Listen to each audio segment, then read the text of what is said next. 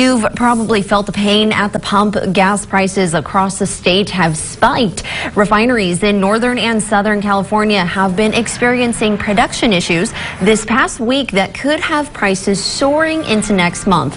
That's according to the top petroleum analyst for GasBuddy.com.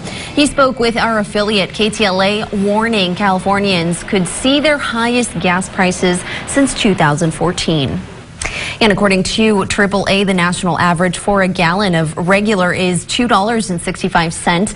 California's average hit $4 this weekend, and Kern County's average is $3.90. Now, a reminder, you can find the lowest prices in town on our website, thanks to GasBuddy.com. Today, the lowest price is $3.32 at the Circle K on Auburn Street. Go to KGET.com and click the traffic section to find the lowest prices in your part of town.